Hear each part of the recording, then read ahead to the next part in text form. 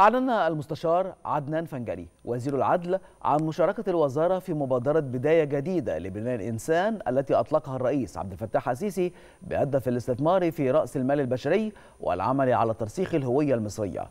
وكشف وزير العدل عن مشاركة وزارة العدل في إعداد محاور مبادرة بداية وذلك في إطار ما تختص به في برنامج عمل الحكومة حيث يقوم دور الوزارة على الدعوة إلى الحفاظ المقام المقام الرفيع للقضاء ورجاله في مختلف جهاتهم وهيئاتهم وتوفير كافة متطلبات أدائهم لرسالتهم السامية بهدف تحقيق العدالة.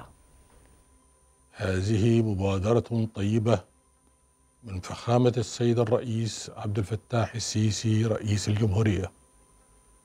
تحمل في طياتها دليلا حاسما على معايشة سيادته للمواطن المصري والسعي نحو تدبير السبل قضاء حوائجه ومصالحه ووقوفه على ما أهمه وما يهمه من متطلبات حياته.